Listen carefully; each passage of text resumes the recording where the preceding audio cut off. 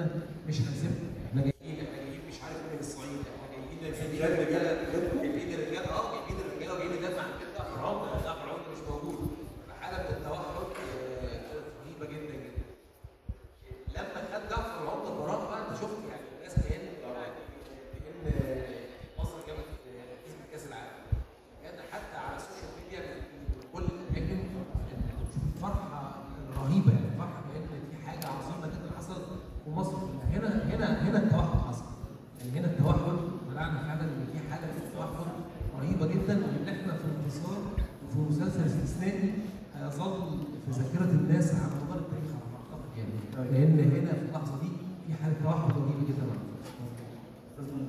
أنا بحس نفسي آه، وحيد المظلوم ككاركتر مشاور يعني حتى حتى قلتها إنه إزاي انت بصيت على الشخصية؟ أنا بصيت على الشخصية في سبع سنين في السجن. الاستاذ محمد سامي دايما يقول في نص وفي ما وراء النص. الشخصية اللي بتلعبها مش هو الكلام اللي, اللي بيكون موجود. في لحظة حسيت شوقي عادي. يشوف أخوه يروح الشغل. فجأة لقى أخوه مقتول. لازم يعمل ردة فعل. ولما عمل ردة فعل اتسجن. وبعد كده بعد كده حسيت ان أختي عملت كل المصايب دي.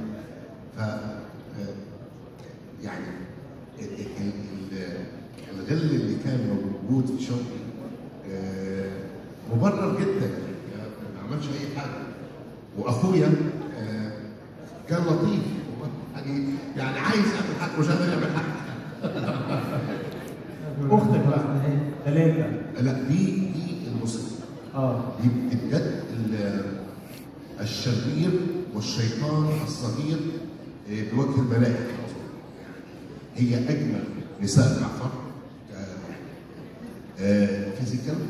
بس هي من جوه آه، قمة الشر. ثريا هتبهدل كله physical. كله physical. بس الروح يا أستاذ المهم مين اللي كسب في الآخر؟ ومين اللي مكمل يا أستاذ؟ اوعى تبقى طيب.